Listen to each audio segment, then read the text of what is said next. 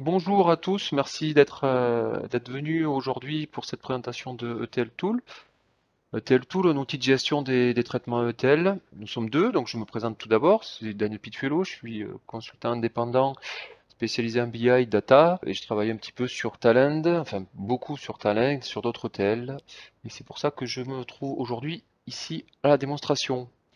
Moi, je suis Jean Cazot, donc euh, un peu le même profil que, Daniel. Ça fait 15 ans que je travaille dans l'informatique et plus particulièrement dans les ETL depuis, euh, depuis plus de 6 ans.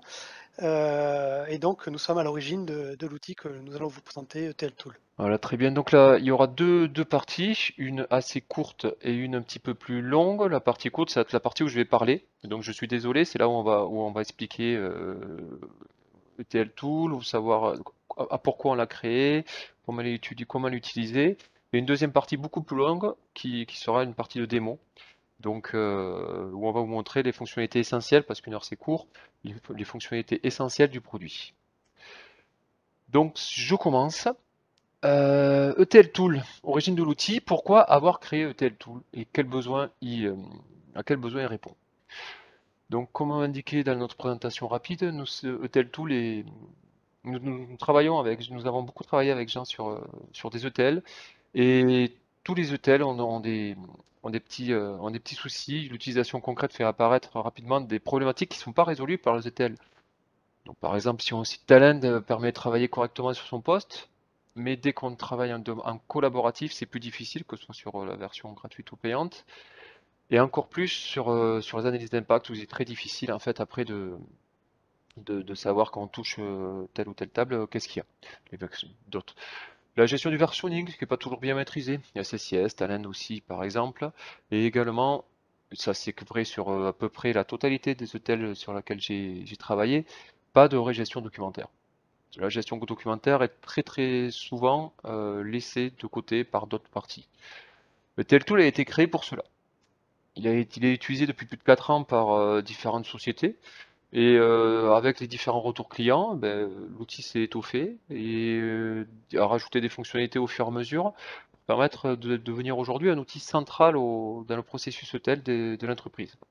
L'outil est arrivé aujourd'hui à une maturité, vraiment, c'est vraiment un outil mature qui, sert euh, dans une dizaine d'entreprises, on vous le montrera après, et qui est devenu indispensable en fait dans la, production des flux ETL, de, saisir conditions organisation pardon, là. L'objectif de l'outil, en graphique, on va le voir, c'est très clair. Partage des développements, comme on a parlé, l'industrialisation des déploiements, on verra comment on arrive à déployer un job en quelques clics, contrairement aux, outils ETL euh, sur lesquels on, travaille.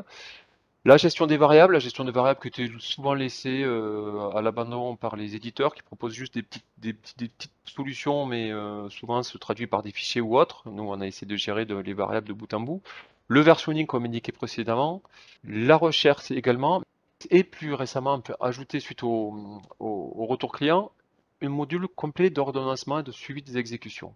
Enfin, surtout l'ordonnancement. on est capable aujourd'hui avec ETL Tool de lancer les jobs, on en parlera un peu plus loin. Bien sûr, la dernière phase pour avoir la totalité de, de la partie ETL, c'est la maintenabilité. Maintenabilité des jobs, parce que une fois que le job est livré, au bout de quelques mois, on a tendance un peu à, l'oublier et avec ETL Tool, on va pouvoir le retrouver assez facilement. C'est ce qu'on va voir avec la partie démonstration encore une fois. En quelques mots, voilà comment nous, on imagine une entreprise sans ETL Tool, ou en tout cas, qu'est-ce qu'il y a dans une entreprise sans ETL Tool? Il y a toujours des intervenants, il y a, des personnes qui recherchent, il y a, des développeurs qui, vont avoir besoin de rechercher, euh, qui, vont, livrer les jobs et qui vont vérifier comment c'est passé. Il y, a des, il y a des CP technico-fonctionnels qui vont aller plutôt rechercher les jobs ou qui vont aller au, au pêche aux informations pour aller savoir ce qui se passe, euh, quels sont les processus, tels, etc., etc. Il y a des équipes de livraison qui vont juste avoir pour rôle de livrer euh, des traitements. Il peut y avoir aussi des équipes de, monitoring, de suivi qui vont juste aller voir cette partie-là. Souvent, en fait, ces équipes-là ne se parlent pas. Et il y a différents outils. Donc euh, j'utilise souvent en fait des outils plus ou moins. Donc le, la partie développement, recherche va utiliser la partie documentaire, donc SharePoint, Word, euh, Drive, ce que vous voulez. La partie bien sûr logiciel ETL, pure ETL, où on aura Talent, Talentis ou euh, SSIS. Le déploiement aussi des jobs, parfois c'est les développeurs qui, vont le faire ou alors des équipes dédiées. Donc ça va être quoi? Ça va être des dépôts Explorer, ça va être des dépôts autres que des dépôts de fichiers. Et la partie vérification et déploiement, donc qui va juste vérifier les logs, donc ça va être des vérifications des crônes. La partie dollar universe, qui va être euh, dollar universe, excusez-moi pour ceux qui ne connaissent pas, c'est un, euh, c'est un ordonnanceur à partir qui va exécuter les jobs tous les jours euh, en cas de plantage, etc., etc. Donc tout ça en fait, comme on peut le voir, il y a différents outils, il y a quatre grandes parties, ça va être la partie documentaire, la partie ETL, la partie déploiement des jobs et exécution des jobs, qui vont être un petit peu séparés dans l'entreprise à bout tous ces outils-là, et donc on a des personnes là qui vont communiquer entre elles. Là, il y aura des personnes qui, suivant les organisations, quelle que soit l'organisation, les fonctionnements entre services sont différents. Les interlocuteurs sont pas toujours bien identifiés. Certaines entreprises vont avoir des équipes dédiées juste pour le monitoring, d'autres juste pour le déploiement. Et en fait, l'information, elle est un petit peu disséminée. Elle est à droite, à gauche. Donc les gens, qu'est-ce qu'ils font? Ils vont chercher d'abord un petit peu dans la doc, ils vont un petit peu faire appel à des développeurs pour aller chercher qu'est-ce qui se passe dans le job talent. Donc il y a tous des process de perte d'informations des fois, et surtout dissémination d'informations qui fait perdre énormément de temps dans le, dans le processus ETL euh, actuel. Donc ETL Tool essaie de répondre à ça. Comme je vous ai indiqué un petit peu précédemment, c'est vraiment les objectifs central, centralisé, partagé, collaboré, et simplifier cette entrée. Et là, on arrive sur le fonctionnement de TL Tool. Comment on voit nous l'entreprise avec TL Tool Alors bien sûr, vous aurez toujours vos, logiciels de, documentation, même si on peut rentrer de la documentation ETL Tool. Vous aurez bien évidemment vos logiciels ETL. ETL Tool ne touche pas les, traitements ETL. Et vous aurez peut-être, ou pas, euh, toujours un ordonnanceur. Peut-être toujours des crônes, mais cette partie-là est gérée par ETL Tool. En tout cas, notre, objectif, c'est que tel tool devienne central. Central pour tous les interlocuteurs d'entreprise. Ceux qui recherchent, ceux qui font les actions, ceux qui vérifient. Mais non, ils vont. la première question qu'ils vont se dire, tiens, ils ont une question. Comment lancer ce job? Tiens, est-ce qu'il a bien tourné? Tiens, euh, ce job-là, à quoi il sert? Documentation. Mais tous, en fait, ils vont passer par notre interface ETL Tool.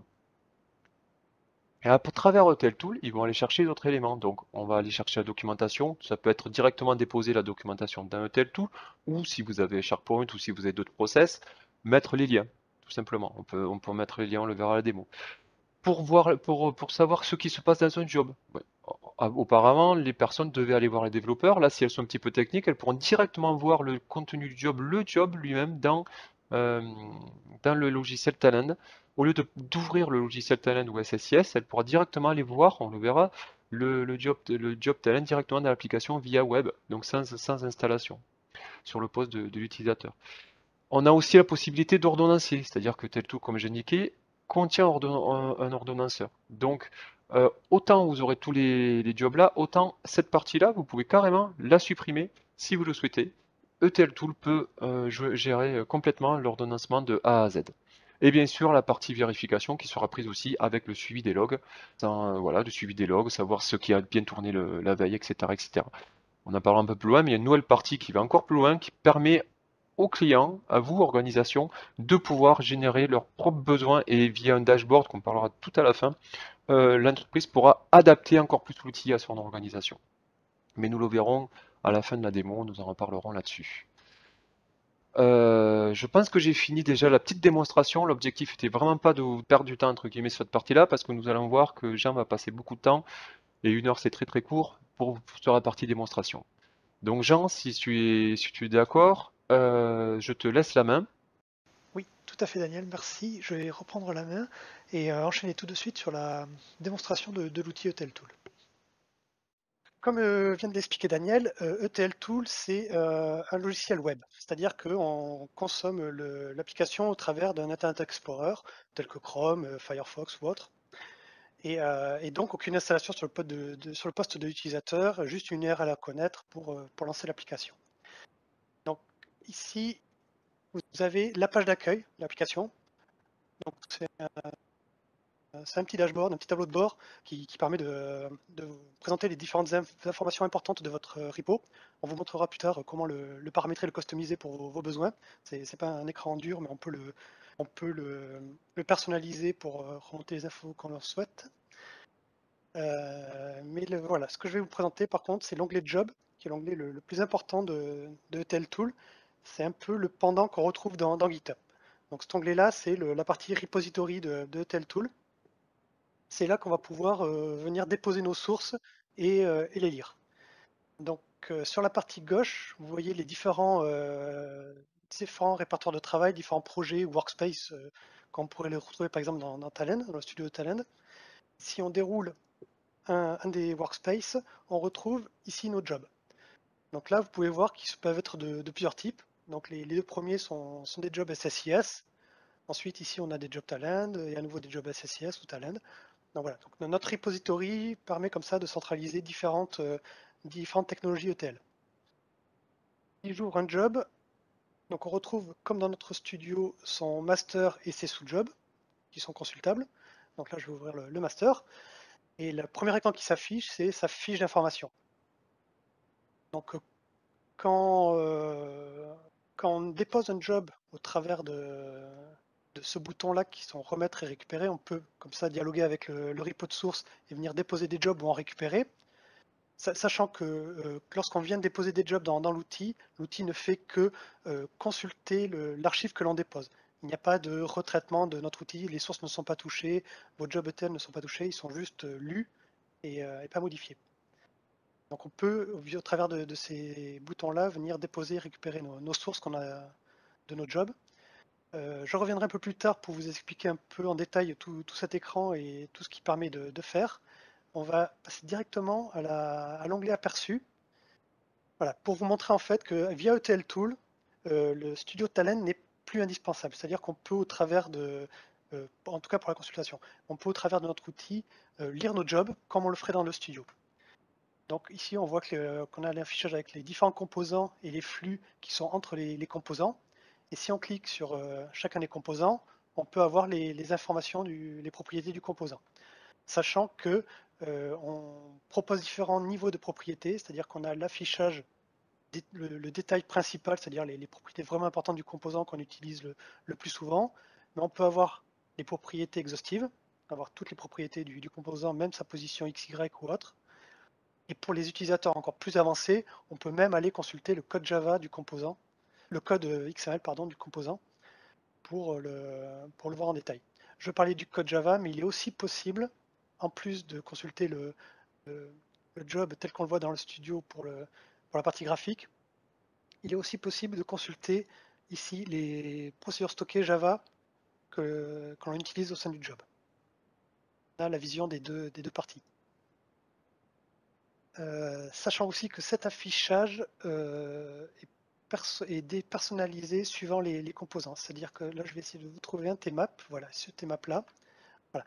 On permet ici, par exemple, d'afficher, comme on le retrouve dans son studio, le, euh, le tmap avec les, différentes euh, colonnes des différentes parties du, euh, du tmap et les différentes variables qui, euh, sont traitées.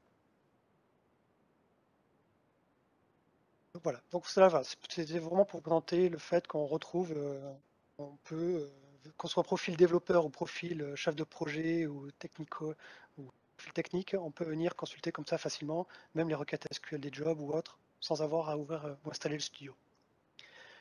Ensuite, l'autre grosse partie qui a été euh, mise en place dans Hotel Tool, comme vous expliquez Daniel, c'est la partie documentation.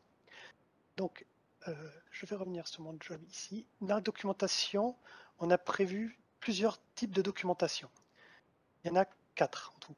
Il y a les évolutions, les tickets d'incident, les documents et les tags. Les évolutions, c'est pour venir renseigner en fait, lorsqu'on dépose une nouvelle version d'un traitement, on vient renseigner, potentiellement, on peut venir renseigner euh, ce, qui a, ce bougé dans cette nouvelle version.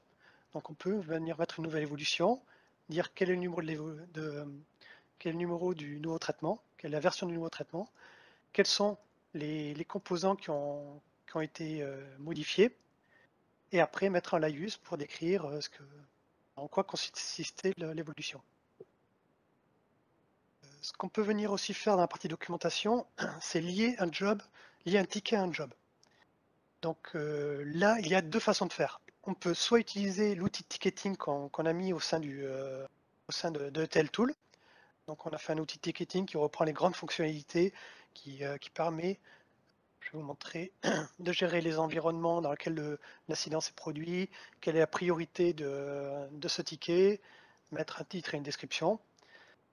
ou alors, si on ne veut pas utiliser l'outil interne de, de Tool, on peut aussi se plugger sur des, outils existants tels que Jira, Mantis, ClickUp. Euh, il est possible en fait de, de plugger Tool à ce, genre d'outils et venir comme ça renseigner les, tickets de, Jira par exemple dans, dans Tool.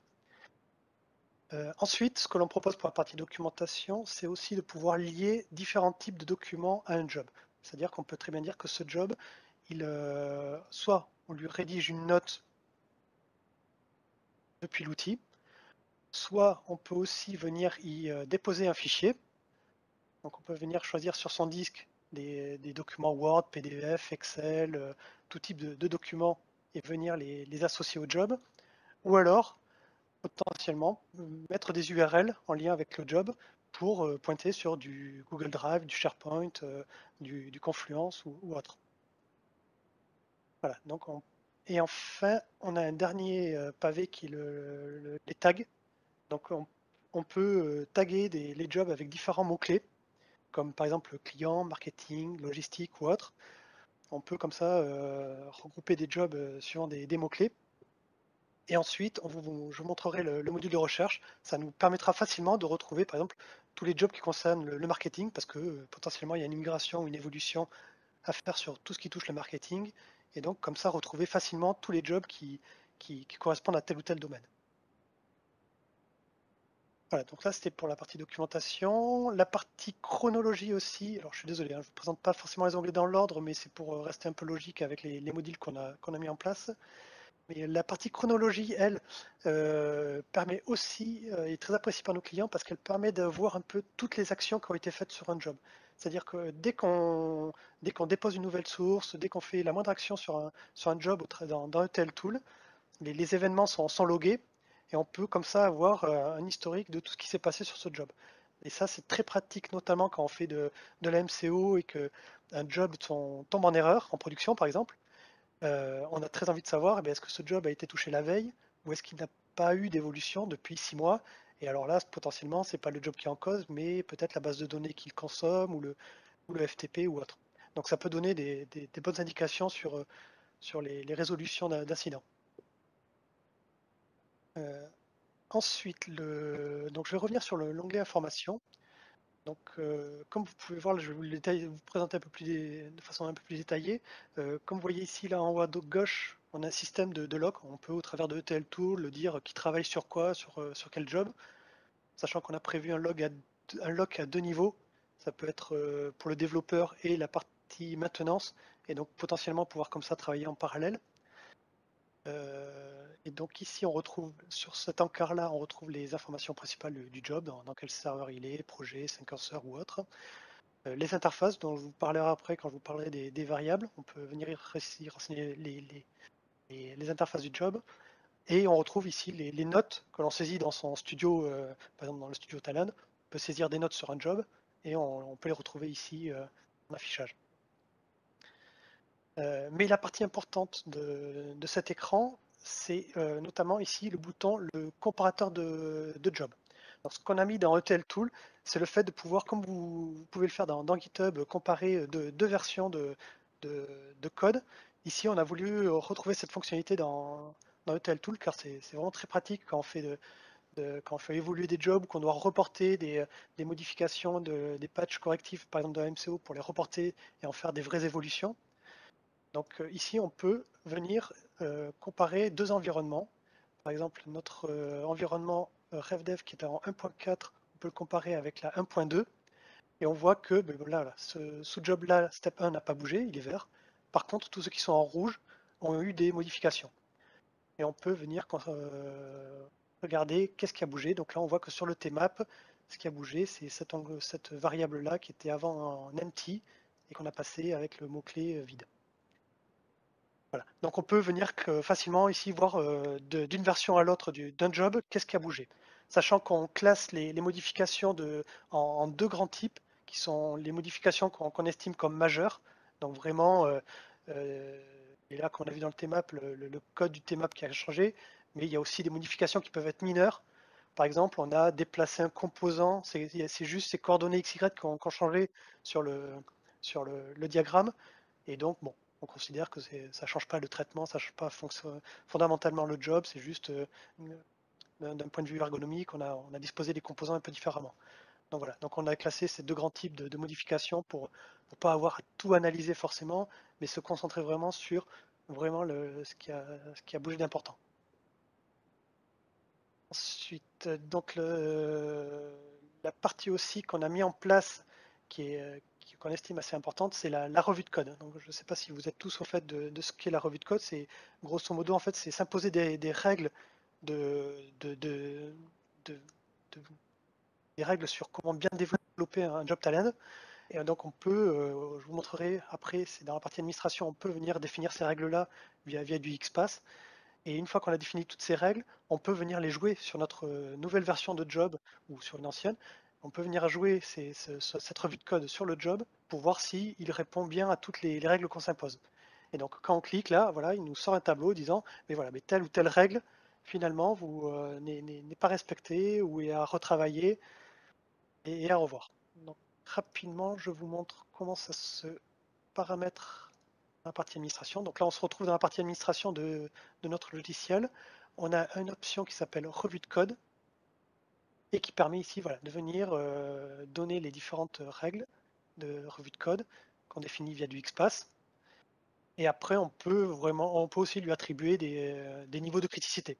C'est-à-dire que les, premiers niveaux qui sont info, mineurs et erreurs, c'est un peu à titre informatif, dire attention, il y a quelque chose qui, semble suspect, euh, à voir s'il faut vraiment faire un correctif ou pas, jusqu'à bloquant. Et là, si on estime que cette erreur est bloquante, il est impossible de remettre le, job dans le tel tool tant que cette erreur n'est pas corrigée. On peut comme ça et mettre en place des, garde-fous et, être sûr que nos jobs sont à peu près bien écrits. Donc ça, c'est très pratique pour les, sociétés qui ont un gros turnover, par exemple, ou alors qui travaillent beaucoup avec des, des, prestations externes ou autres et euh, qui ne sont pas forcément au fait de comment bien développer un job au, sein de la société. Alors ensuite, ce que je vais vous montrer, c'est la partie variable dont, je vous parlais tout à l'heure. Donc il est possible au sein de ETL Tool de, gérer les variables de contexte. Donc, euh, lorsque dans un job, on, place des variables de contexte, on peut venir ici les, euh, modifier pour dire que ben, telle variable de contexte a telle ou telle valeur dans tel ou tel environnement. On ici là qu'on peut choisir l'environnement et on peut ici venir saisir la, variable de contexte pour lui donner une, valeur. Euh, donc, ce qui est très pratique avec ça, c'est de pouvoir les, renseigner, mais c'est aussi le gros avantage d'utiliser notre onglet variable, c'est qu'on historise c'est-à-dire que dès qu'on met une valeur, si jamais on modifie cette valeur, il est possible au travers de ce bouton-là de venir voir quelles étaient les valeurs précédentes. Donc on voit que avant on avait 1, 2, 3, 4, 5, 6 et que la valeur actuelle maintenant est 1, 2, 3, 4, 5, 6, 7, 8, 9. Pareil, si je continue à la modifier, quand j'applique ce bouton-là, voilà. Maintenant on, voit que pour cette variable-là on a telle valeur et qu'avant potentiellement on avait ces valeurs-là. Donc ça, c'est un côté très pratique. On peut aussi, comme vous avez vu, ajouter des commentaires sur ces euh, différentes variables pour expliquer un peu ce qu'elles font. Et l'autre gros avantage qu'on a mis au sein de notre gestion de, variables, c'est que là, on a des variables qui sont propres au job, qui sont euh, locales à ce job-là et utilisées par aucun autre job, mais on a mis un deuxième niveau de, variables. Par exemple, si je viens sur l'environnement recette, ici, on voit qu'on retrouve nos variables euh, locales au job, mais on a aussi potentiellement des variables qu'on estime être globales qui peuvent être utilisées par plusieurs jobs. Et le gros avantage dans, notre outil, c'est que ces variables sont renseignées une et une seule fois via l'administration, la, partie administration de l'outil, et que si jamais, on modifie cette, cette variable globale, tous les jobs en profitent sans avoir à revenir job par job pour modifier la variable globale. Donc ça, ça fait un gain de temps et une souplesse pour n'importe quoi, mais si jamais une base de données change de connexion, migre ou autre, voilà, ça, ça fait gagner un temps fou pour pouvoir modifier ces, paramètres de connexion. Donc le gros avantage aussi de, renseigner les, variables au, travers de, cette interface, c'est qu'après on peut aussi, euh, au travers des jobs, consulter les, variables. Je m'explique. Donc on va revenir sur la partie aperçue. Euh, par exemple, ici, on a une requête SQL qui est composé donc, de, son, script SQL, mais certaines parties du script SQL sont valorisées par la variable de contexte. Et généralement, bon, il faut jongler entre deux, trois écrans pour aller voir quelle est la valeur de cette variable de, contexte dans tel ou tel environnement. Là, nous, ce qu'on propose au travers de tel tool, c'est à la volée de pouvoir remplacer les, variables de contexte par leur valeur suivant l'environnement. Donc là, on voit qu'en recette, on a pour cette variable de contexte ce, chiffre-là, et ici, par contre, vide. La, valeur n'a pas été renseignée. Par contre, si je vais en production, plutôt en développement, on voit que là, voilà, la variable de contexte euh, est toujours la même pour le code société, mais la deuxième est valorisée à, F1. Donc voilà, on peut venir au travers de l'outil comme ça facilement euh, euh, remplacer les variables de contexte pour, pour mieux lire les, requêtes SQL ou tout autre, ou des choses peu de répertoire, des chemins, ça peut être toutes sortes d'éléments.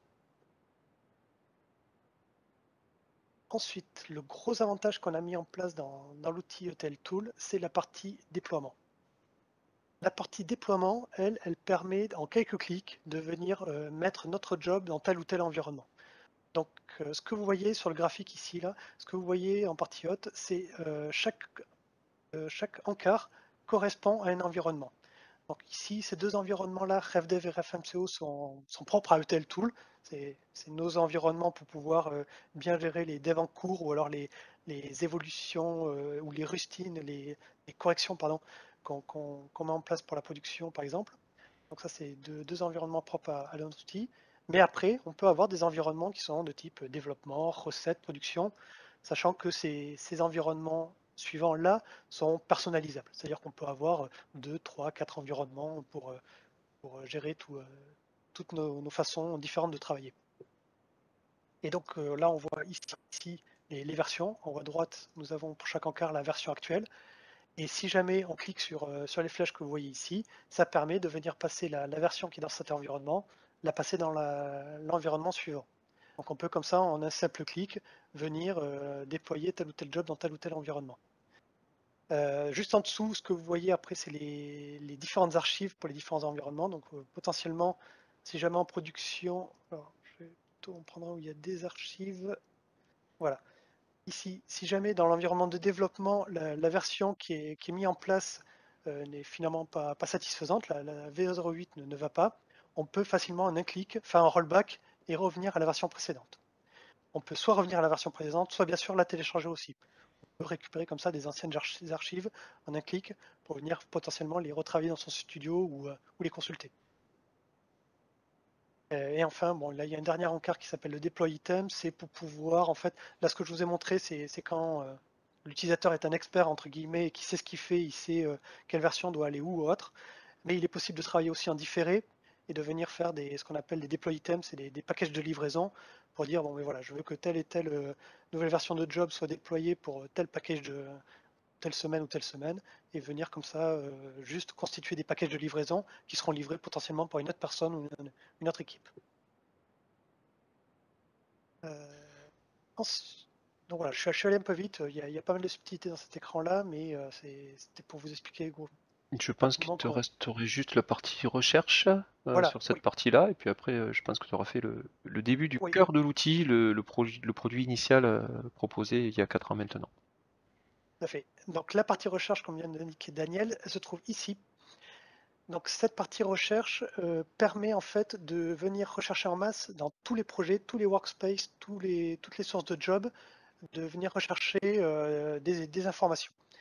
Donc euh, là, basiquement, si on tape juste un mot-clé et qu'on recherche, par défaut, ce que fait le Hotel Tool, c'est qu'il va chercher juste quels sont les noms de jobs qui correspondent à ce mot-clé. Sachant que ça peut être strict ou pas, on peut rechercher euh, juste une partie du nom ou, euh, tout le nom. Euh, donc voilà, donc l'option basique reste celle de, rechercher dans le nom du job. Mais on a voulu aller beaucoup plus loin. Et donc ce qu'on propose, c'est de venir chercher à des endroits très spécifiques. Donc on peut, donc comme je viens de montrer, juste chercher dans le nom du job, mais on peut aussi chercher ce terme dans toutes les sources de tous les jobs. On peut venir dans les interfaces, les flux, les variables, juste dans les requêtes SQL, juste des, rechercher dans les noms de table tel ou tel mot-clé, dans les proc stocks. Voilà. Donc on a mis un ensemble d'options possibles. Et notamment, ce, dont je vous parlais quand on a discuté de la partie euh, documentation, on peut venir rechercher euh, potentiellement des mots-clés dans les descriptions saisies, les évolutions ou les tags. Je vais vous faire une petite démo. Par exemple, si je coche tous les éléments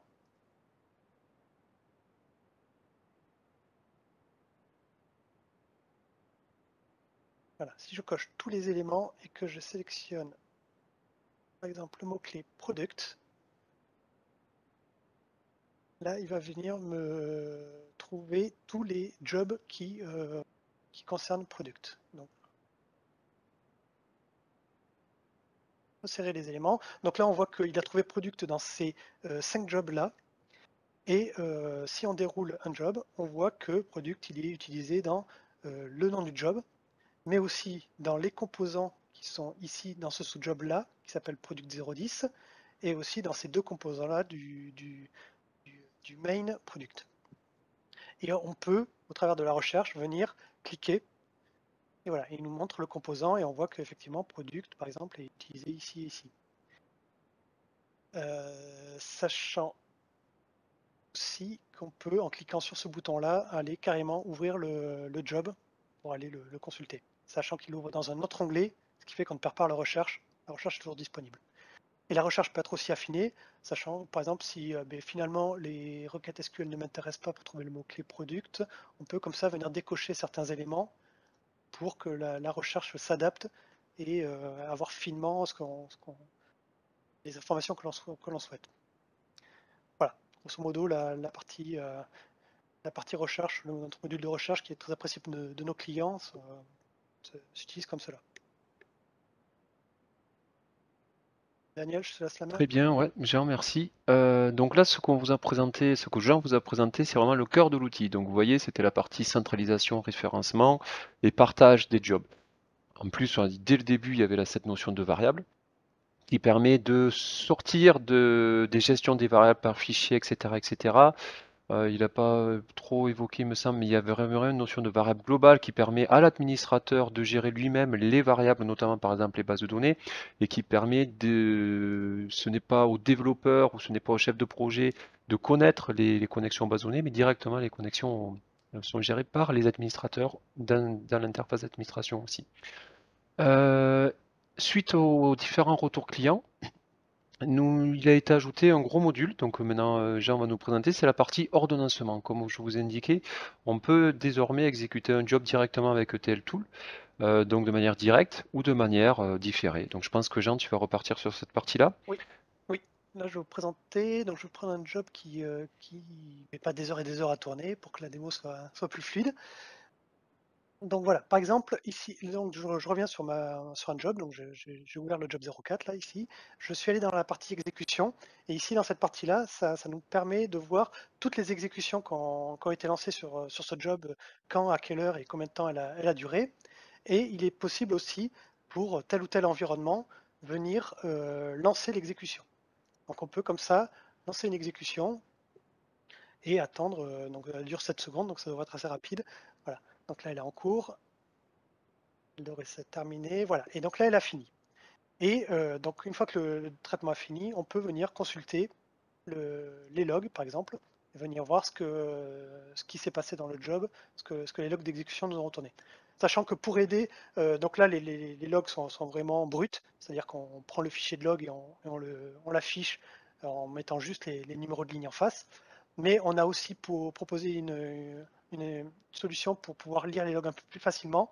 Donc on propose de pouvoir formater les, logs et qui rendent comme ça un peu plus lisible ce que produit le job.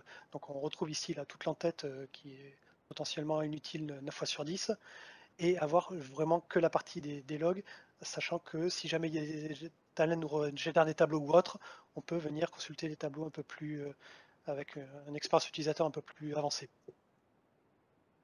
Donc euh, voilà, donc cette partie log est accessible euh, job par job via cet onglet exécution, mais on a aussi proposé d'accéder de, façon plus globale à toutes les exécutions. Donc ici on a un onglet qui s'appelle ordonnanceur, qui, euh, suivant les, environnements, donc je vais me remettre sur l'environnement de recette, se mettre en mode liste, voilà, qui permet ici de venir voir toutes les exécutions des 30 derniers jours. on peut voir ici tout, ce qui a été fait euh, via l'ordonnanceur. Et comme, je comme on l'a vu au, niveau du, job, on peut venir consulter, pareil, les logs ou autres de, de, nos jobs et voir les informations de qui l'a lancé, à quelle heure. Donc cette première écran d'affichage qui est sous forme liste simple, une, simple table qui, qui déroule de façon chronologique toutes les exécutions, voilà, est déjà, aide déjà pas mal. Mais on a proposé une autre forme de visualisation que l'on a nommée période. Elle, elle regroupe donc jour par jour. Donc chaque encart que, vous retrouvez ici sont des journées différentes. Et donc jour par jour, on liste tous les jobs qui ont été exécutés dans la journée. Donc là, en partie verticale, ici, on a la liste de tout ce qui, tout ce qui s'est lancé. Et en partie horizontale, ici, les différents euh, carrés de couleurs représentent une instance d'exécution. Donc ce job-là 4, aujourd'hui, il a tourné 1, 2, 3, 4 fois. Il a tourné parce qu'il y a 4 carrés. Celui-ci n'a tourné que 3 fois. Voilà. Donc on peut voir, c'est un aspect visuel euh, pour voir plus, plus facilement, plus rapidement ce qui, a, ce qui a tourné.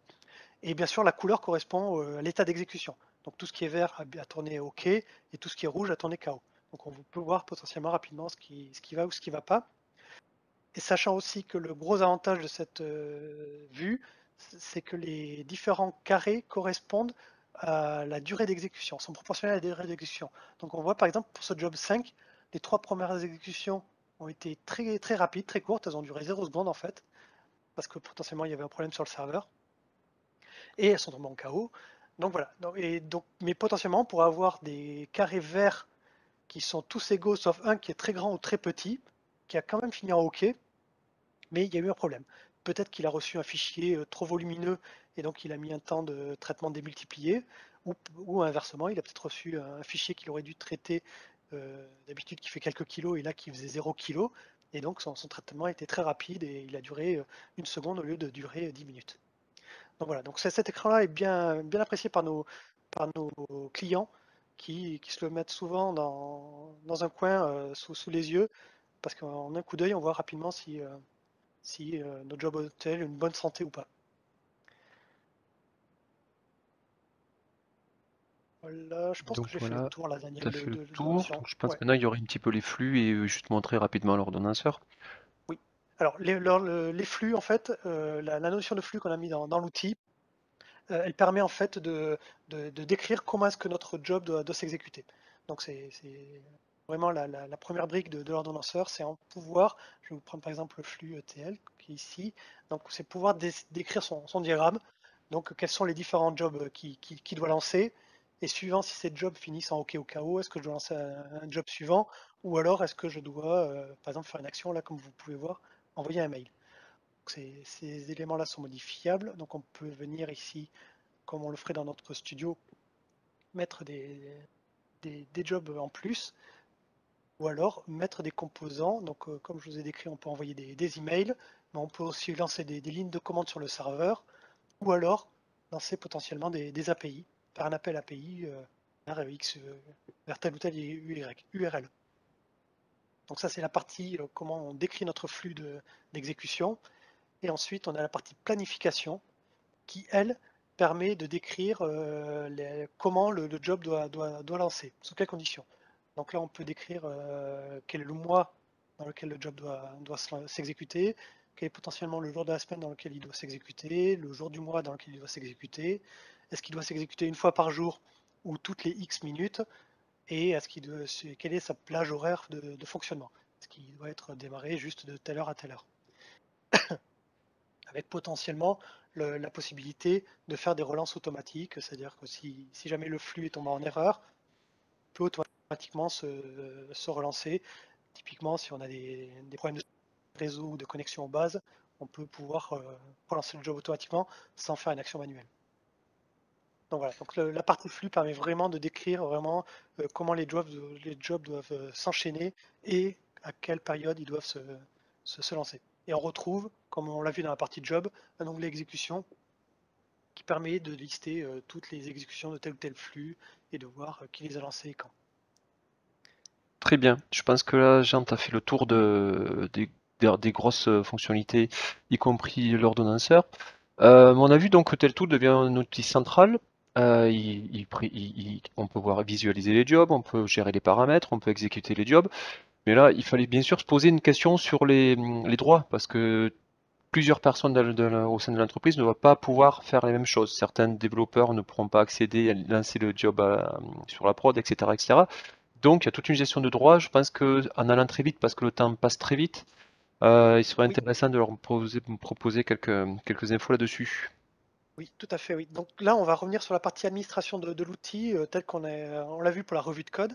Donc on a mis en place euh, une option d'utilisateur, où bien sûr, on peut venir décrire ici dans quels sont les, utilisateurs, quelle est la liste des utilisateurs qui, euh, potentiellement peut, peut, utiliser tel tool, sachant qu'on propose euh, via cette liste d'utilisateurs, on propose de gérer nous-mêmes au sein de l'outil les, identifiants mots de passe qu'auront les utilisateurs, mais il est aussi possible que de dédier ça, de, se plugger en fait à une Active Directory pour que la partie authentification soit, soit gérée plutôt par le LDAP plutôt que par l'outil. Donc on a les, deux modes possibles. Et donc une fois qu'on a notre liste d'utilisateurs, on peut venir leur, attribuer des droits. Donc les, droits, on a deux grands concepts de droits. Euh, le premier historique qu'on a mis en place, où on avait imposé des, types d'utilisateurs. Donc on a, par exemple, on avait découpé l'application en trois grands types d'utilisateurs, qui sont l'administrateur, qui a le, pouvoir de, faire tout et n'importe quoi dans le TL tool et de pouvoir tout, euh, manipuler le, type de droit qu'on avait appelé développeur, qui a juste le droit de venir euh, tout faire au sein des job talent ou SSIS, mais qui ne peut pas toucher à la partie administration, comme les, variables globales, les mots de passe ou ce genre de, choses. Et enfin, un type de droit visiteur, qui lui, il a des droits qu'en consultation, en fait, il ne peut venir que, lire des jobs, les, visualiser, mais il ne peut rien modifier. Mais ces trois types de, droits, on s'est aperçu au fur et à mesure du, temps qu'ils étaient bien mais pas suffisants. Donc euh, certains clients voulaient aller un peu plus loin dans la gestion des, droits. Et donc ce qu'on a mis en place, c'est les, groupes d'accès. Donc il est possible de, lier un utilisateur à un groupe d'accès et de, après de paramétrer ces, groupes d'accès. Donc les groupes d'accès, vous les retrouvez ici. Donc si je vais prendre le groupe, par exemple, métier, donc ce groupe d'accès, il permet de euh, gérer finement euh, et par environnement euh, ce que peuvent faire l'ensemble des utilisateurs de, ce groupe. Donc là, on, retrouve, en fait, sur la partie gauche, là, vous retrouvez un peu tous les écrans de, de, de Tool. Et sur la partie droite, vous retrouvez en fait par colonne chacun des environnements. Et on peut venir dire, eh bien voilà, tel groupe d'accès, il peut juste consulter la, partie développement ou alors il peut la modifier mais par contre, en recette et production, il est juste en consultation, ou alors carrément l'environnement lui est masqué et il ne peut pas le, regarder. Donc voilà, donc on peut comme ça venir paramétrer assez finement tout, ce que peut faire un utilisateur au sein du, euh, euh, de l'outil. Et aussi, les utilisateurs peuvent être regroupés en équipes et on peut attribuer aux équipes tel ou tel projet autorisé. C'est-à-dire que, comme on l'a vu là dans la partie job, euh, l'arborescence ici est bon, très, très petite, mais potentiellement elle peut être euh, immense. On peut, si on a plusieurs équipes de développement ETL, on peut très vite retrouver une arborescence qui a, euh, je sais pas, 100, projets ou 100 workspace, et potentiellement le développeur ne travaille que sur une dizaine de workspace ou une vingtaine et pas plus, et il n'a pas envie de, voir les autres. Donc on peut, avec les droits comme ça, dire que voilà, tel ou tel utilisateur ne voit que tel et tel projet, pas plus, qui lui évite de, polluer un peu son, son arborescence. Voilà, pour parler rapidement des droits, je, Très bien. Ça fait le tour. Je pense que ce, fait tour, c'est toujours très dense, ça va très vite. Euh, on aurait pu parler aussi de l'ESB euh, qui est géré aujourd'hui avec Caraf. On aurait pu parler aussi des livraisons déférées, mais on a choisi de, rester sur le cœur des, euh, fonctionnalités de Tel Tool. Si vous êtes intéressé par, par ces parties-là, on, sera bien sûr disponible pour, pour parler un petit peu plus. juste maintenant, voilà, ça c'est aujourd'hui Etel Tool chez nos clients, il fonctionne comme ça. Chaque client prend chaque module, etc., etc. Ça fait 4 ans que ça tourne. L'outil fonctionne, l'outil est robuste, mais euh, ça ne veut pas dire qu'on s'est arrêté là. Aujourd'hui, on va vous présenter truc guillemets en avant-première le, nouveau module qui permet de, aux clients, aux organisations de, pouvoir s'adapter encore plus, de pouvoir vraiment s'approprier ETL Tool. C'est le module qu'on appelle dashboarding. Il a plusieurs, euh, euh, fonctions. Donc c'est d'abord un tableau de bord, tout simplement. On a vu qu'on avait les logs, donc pourquoi ne pas ajouter des tableaux de bord d'alerting sur les exécutions passées? Ça peut être aussi d'externaliser des, parties de, d'écran ou voire des lancements de job. Et surtout, après, ça peut être ce que je vous disais, la personnalisation, c'est-à-dire créer une propre page d'accueil qui soit pour cette organisation-là, celle qui l'intéresse pour telle ou telle équipe, etc. etc. Donc ça, c'est un outil de dashboarding qui est aujourd'hui en cours de test chez deux clients, euh, mais qu'on espère déployer d'ici la fin du mois de d'octobre au plus tard, Jean, je, pense qu'on peut dire ça. Et donc, qui, vraiment est, l'avenir à court terme de, de, tel tool, et on va vous présenter donc ceci en avant-première, entre guillemets.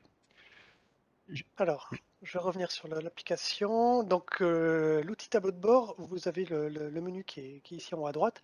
Voilà. Donc, Ici, quand on est dans le tableau de bord, on, permet, on a, comme pour les jobs, une arborescence de, tous nos tableaux de bord regroupés par répertoire ou autre.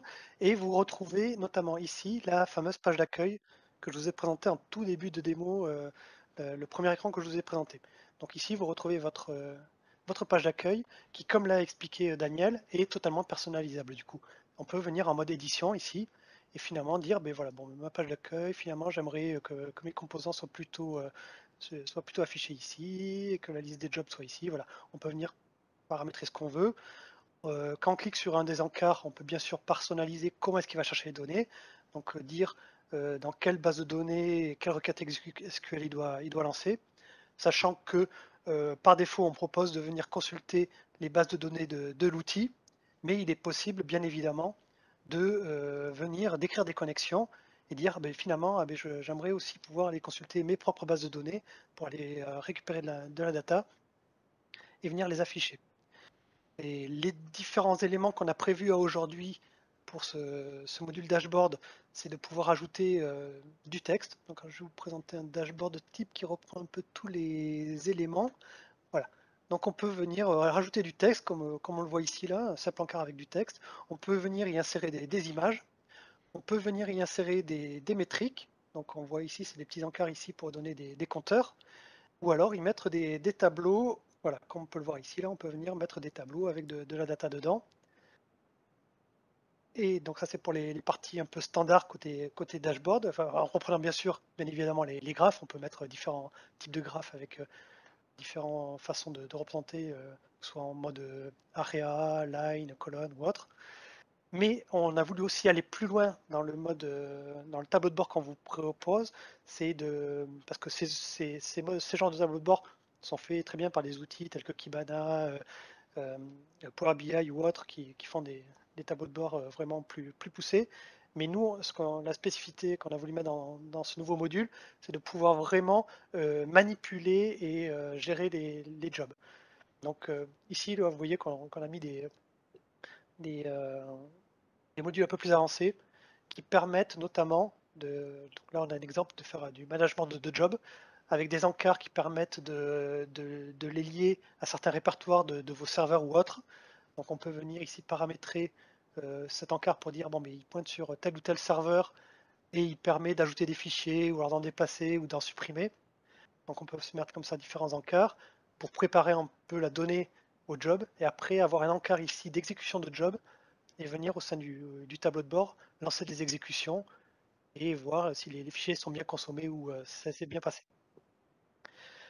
Donc ces, modules avancés qu'on a mis en place, euh, pardon, il reste aussi l'autre type de module avancé qu'on a mis en place, c'est le monitoring system. Donc on a, euh, des, encarts qui permettent de surveiller les serveurs, tant au niveau de la RAM que l'espace disque, que la santé des bases de données, est-ce que les connexions se passent bien ou autre. Donc on peut comme ça, environnement par environnement, se faire des dashboards pour voir un peu surveiller euh, est-ce que euh, tout va bien euh, sur les serveurs. Et donc une fois qu'on a tous ces modules-là, et qu'on a construit notre tableau, tableau de bord, on peut le consulter donc, au travers de tel tool comme, je vous l'ai montré là. On peut venir l'insérer potentiellement dans des parties de tel tool. Donc ici, on a un encart on a un qui dit où est-ce qu'on veut l'afficher dans, dans tel tool. Donc on peut le mettre en page d'accueil, ou alors dans le menu ordonnanceur, ou dans le menu talent log, ou ticketing, ou autre. Et on peut aussi mettre des droits d'accès. On peut dire ce tableau de bord n'est accessible que par telle ou telle personne, ou tel groupe de personnes. Et après, on peut retrouver donc euh, ici, quand j'ai un tableau de bord, ici, voilà, on peut retrouver nos dashboards au sein de, l'application via, via les menus.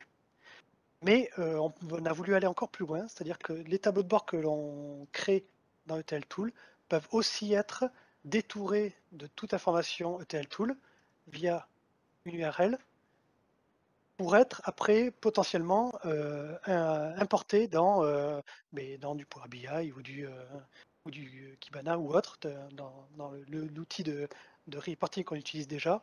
On peut venir comme ça importer les, tableaux de bord que l'on a créés dans Hotel Tool. Ou inversement, on propose aussi de venir dans nos tableaux de bord incorporer des, en via iframe des tableaux de bord externes. Voilà, rapidement pour présenter la fonctionnalité tableau de bord, euh, comment est-ce qu'on l'a imaginé?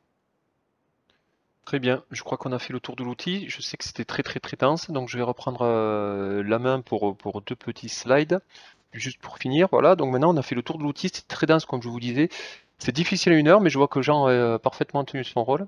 Donc moi je vais vite terminer sur la partie à qui sert tel tool aujourd'hui Aujourd'hui, à l'origine, ça servait pour les développeurs EDI et peut-être les équipes MCO ça c'est sûr. Après, on a ajouté le rôle de responsable DI parce qu'il permettait de, voir l'ensemble des jobs qui tournent, suivre à peu près les, les, évolutions, les mises en production, etc. etc. Puis après, en fait, l'équipe supervision est arrivée avec les dashboards, non pas les dashboards avec les logs, etc. etc., etc. Puis l'équipe delivery avec un module livraison qu'on ne vous a pas présenté. Puis après, au fur et à mesure, on s'est rendu compte aussi que tel tool était utilisé par les, chefs de projet technico-fonctionnels parce qu'à travers tel tool, vu qu'ils arrivent sans outils à accéder au job SSIS ou job talent, on s'est aperçu, ça a été un des retours de nos clients, que les chefs de projet technico-fonctionnels à l'interface entre l'utilisateur et l'informatique se mettaient, entre guillemets, à lire un petit peu les jobs et arriver à eux-mêmes essayer de comprendre ce que faisait un traitement et donc euh, démocratiser un petit peu ces, ces, ETL et permettre des pré-analyses faites par ces personnes-là. Et notre objectif à travers le dashboard, c'est aussi que le métier ait la main, entre guillemets, à cet outil-là, notamment par, à, travers l'exécution des jobs. Notre, notre objectif, c'est que le métier puisse, à travers Hotel Tool, avoir la main sur les jobs qui, qui, ont, qui, sont, euh, qui, qui, lui seraient dédiés.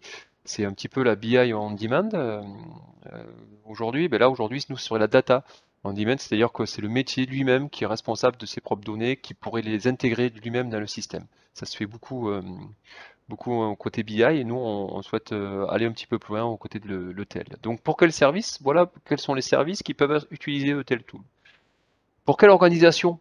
Donc, vu ce qu'on a hum, développé, on, a élargi en fait le, gap des, organisations qui peuvent être intéressées. Bien sûr, ils leur font de tels, c'est sûr.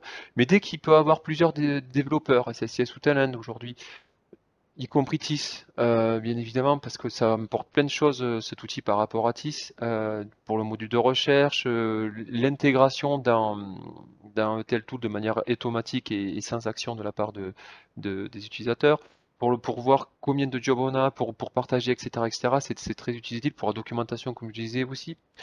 C'est aussi des organisations qui ont besoin d'industrialiser leur traitement tel. Des fois, il suffit d'avoir un seul développement ou deux développeurs, mais avoir des complexités au sein du process, là on sait qu'on a tout ensemble, on se pose plus de questions. Nous on arrive, on peut installer tout, on a une petite formation et on est capable de mettre toute la chaîne euh, de A à Z. Et ça simplifie, ça rassure les clients. Enfin, l'organisation désirant partager ou maîtriser leur processus tel. Comme je vous ai décrit dans, le, dans, le, dans les premiers slides, très vite, il peut y avoir de, nombreuses personnes, beaucoup d'interactions, de la perte d'informations. Et Hotel Tool, en devenant un outil central, permet de, combler ces manques-là. Aujourd'hui, il n'y a aucune autre solution industrialisée. Euh, en tout cas, nous, on, on, fait du benchmark de temps en temps, on voit qu'il n'y en a pas. Si jamais vous en avez un, merci de, nous l'indiquer. Euh, voilà, aujourd'hui, pour finir, le déploiement actuel du produit, vu qu'il est très souple et qu'il s'adapte à, toutes euh, les, structures, ben, on a un petit peu de tout. On a des, entreprises qui ont que 3, 2 ou 3 développeurs, je crois. Euh, d'autres qui ont une trentaine, voire 40 développeurs, Talend et SSIS mélangés. Euh, donc voilà, il y a du monde de l'industrie, il y a des institutionnels, il y a pas mal de commerce, il y a pas mal de, de, même de recouvrement financier. Pour la partie Kera, c'est du recouvrement, donc c'est vraiment des, entreprises financières. Donc ça, prouve qu'en fait la, solidité de, la solution proposée. Donc, euh, donc on espère vous voir parmi nos, prochains clients. En tout cas, on est disponible vraiment pour, euh, répondre à vos questions. Donc là, euh, je n'ai pas vu, je ne l'ai pas précisé au début. En fait, il y avait un espace de questions-réponses en bas et à droite de, votre écran normalement. Euh, je pense qu'il y en a, que deux actuellement. Donc je vous invite vraiment à cliquer en bas à droite. Euh, si jamais vous, avez questions-réponses, nous les verrons et, on, peut se permettre de, répondre à la, mesure du temps qui reste, sachant que c'est midi.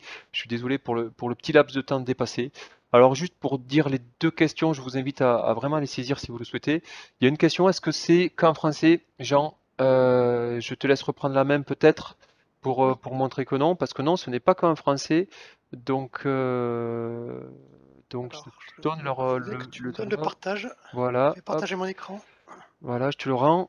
Donc ça, c'est la première question. Et pendant que tu, tu partages vos questions, c'est comment intégrer un job dans un tel tool? Donc je n'ai pas, j'ai juste dit que s'il pouvait avoir une intégration à l'instant automatique ou manuelle. Euh, voilà. Donc c'est les deux premières questions que je vois.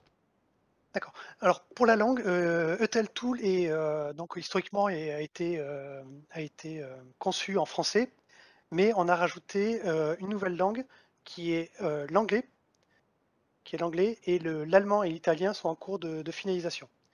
De, même de, de- sont, juste démarrés pour l'italien et avancés un tout petit peu pour le- l'allemand. Mais par contre, l'anglais, lui, a été finalisé cet été, et donc il est possible d'utiliser euh, ETL Tool en anglais. Donc là, vous voyez, je viens de, changer la langue et tous les libellés sont, Alors, bien sûr, les libellés des dashboards, comme c'est des dashboards personnalisés et construits par vous, eux, ils sont dans la langue dans laquelle vous l'avez construit. Donc, eux, ils ne changent pas. Par contre, tout le reste de l'application, là, on voit qu'on a euh, Team, par exemple. Si on ouvre un job, on voit que tous les voilà, serveurs, project, euh, interface, séquenceur, euh, voilà. tous les libellés, eux, sont, euh, sont- sont passés dans une autre langue. Voilà, très bien. Donc, Ensuite, la ouais. deuxième question, c'était par rapport à Comment monte un job? Là, ouais, voilà, comment, comment gérer l'ajout de Alors, job? C'est vrai qu'on n'a pas cette oui, je suis allé un peu, un peu vite sur la, la partie démo, pas sur cette partie en fait. Donc ETL Tool est vraiment décorrélé de, de votre studio. hein. C'est-à-dire que pour construire votre job, pour, pour mettre en place les nouvelles fonctionnalités et autres, tout se passe comme vous, travaillez actuellement, tout se passe dans votre studio.